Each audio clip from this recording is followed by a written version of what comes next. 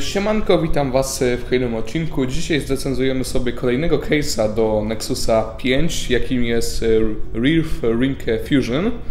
E, Firmę na pewno znacie, ponieważ poprzedni case, jaki recenzowałem, e, również pochodził od firmy Reef, ale tutaj mamy do czynienia po prostu z innym modelem.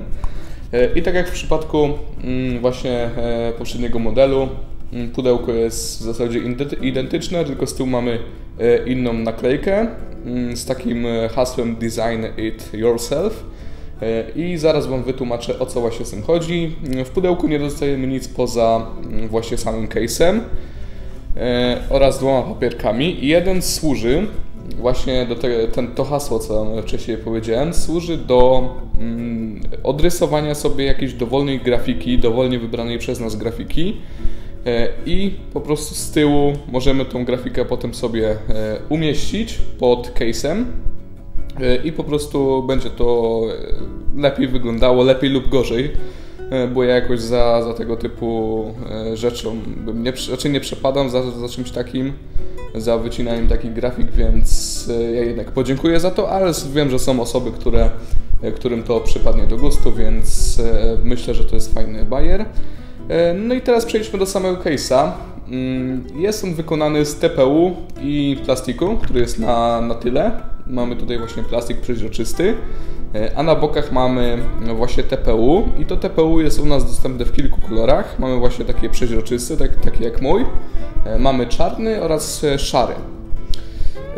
Co do przeźroczystego, powiem Wam, że odnoszę wrażenie, że po pewnym czasie mm, te, to TPU tutaj może po prostu żółknąć. Jak większość przeźro- przeźroczystych case'ów e, wykonanych z TPU, no po prostu po pewnym czasie żółk, po, może zżółknąć. Nie, nie jest powiedziane, że każdy zżółknie, ale może zżółknąć.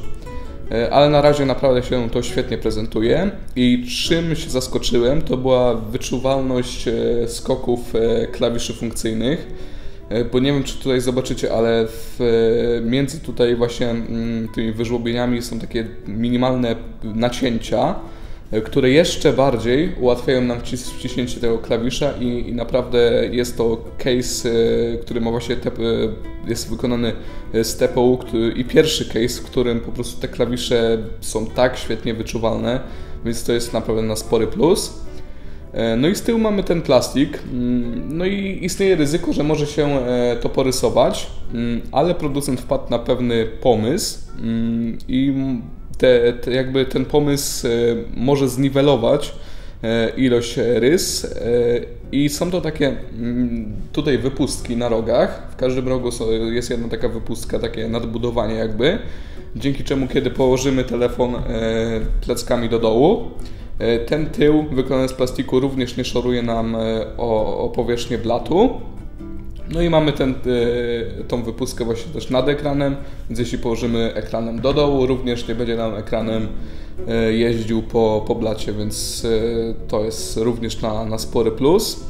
No i oczywiście wycięcia na, na wszystkie porty, głośniki i inne tego typu sprawy są bardzo świetnie zrobione. Plus to jest też duże wycięcie na jack, dzięki czemu większość wtyczek powinna pasować. No i myślę, że to było chyba na tyle. Z plusów to jest po prostu dosyć fajna cena mm, i kolejnym jeszcze ostatnim plusem to jest to, że widać przez tego case'a całe piękno Nexusa. Więc myślę, że etui jest naprawdę warte naszej uwagi, jest naprawdę bardzo ciekawe e, i jak, nam, jak najbardziej wa, Wam to polecam. Więc dzięki za obejrzenie. Pamiętajcie oczywiście o subskrypcji, łapkach w górę i widzimy się w następnych odcinkach. Pozdrawiam Was, cześć!